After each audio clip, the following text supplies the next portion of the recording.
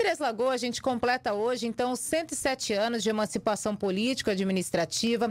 É uma das cidades mais importantes em Mato Grosso do Sul. E nos últimos anos, Três Lagoas tem se destacado como um dos principais municípios do Centro-Oeste. A gente acompanha agora uma reportagem especial que eu preparei para vocês, destacando esse desenvolvimento econômico da cidade. A reportagem tem a participação especial do Max Silva e a edição do Marcos Felipe.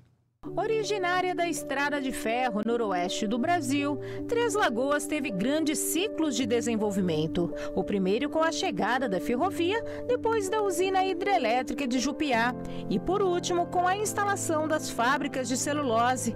Este foi o terceiro grande ciclo do desenvolvimento de Três Lagoas, que ocorre a partir de 2009.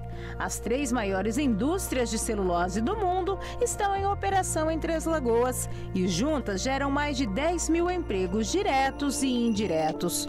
Além das indústrias de celulose, o secretário de Desenvolvimento Econômico, José Aparecido de Moraes, destaca que o município tem ainda outras empresas importantes e que contribuem para a geração de riquezas e empregos. Olha, se formos verificar, Ana, nós temos 12.500 CNPJs ativos no município.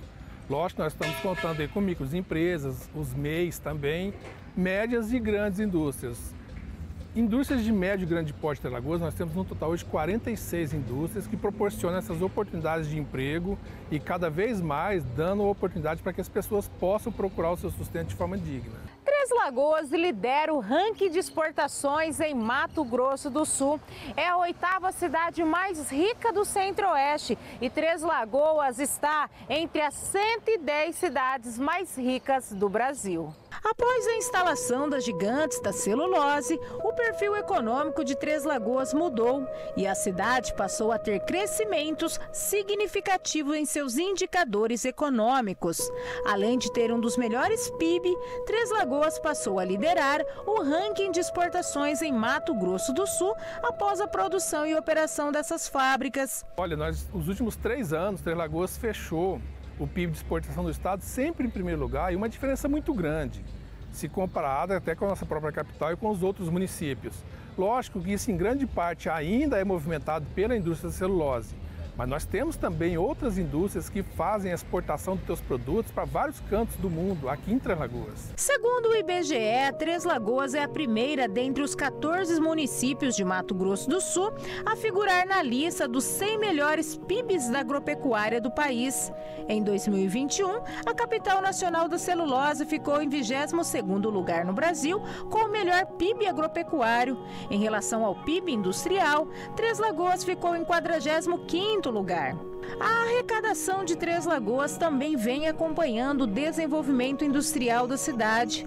Para 2022, a previsão orçamentária é de 900 milhões de reais e para 2023, Três Lagoas deve arrecadar mais de um bilhão de reais. Mas antes mesmo desse processo de industrialização de Três Lagoas, a pecuária e o comércio sempre contribuíram com o desenvolvimento da cidade. O presidente da Associação Comercial, Fernando Jurado, destaca a importância deste setor para a economia de Três Lagoas. O comércio sempre foi a primeira manifestação da economia de Três Lagoas, né? Antes da Três Lagoas ser reconhecida como a cidade do, do, do, do, agronegócio, né, da pecuária, antes da cidade ser reconhecida como a cidade agora capital mundial da celulose, Três Lagoas foi a cidade do comércio. Né? A gente começou de uma forma muito incipiente, hoje a gente tem um comércio estruturado entre Três Lagoas há alguns anos, há pelo menos uma década, já não existe mais no nosso município aquele, aquela questão de ter que sair de Três Lagoas para buscar um ou outro tipo de especialidade que o nosso comércio não possa, não possa atender. Então a gente tem um comércio hoje consolidado em Três Lagoas, né, um comércio que consegue atender de forma satisfatória o seu cliente e isso é benéfico para toda a cidade, para toda a região de modo geral.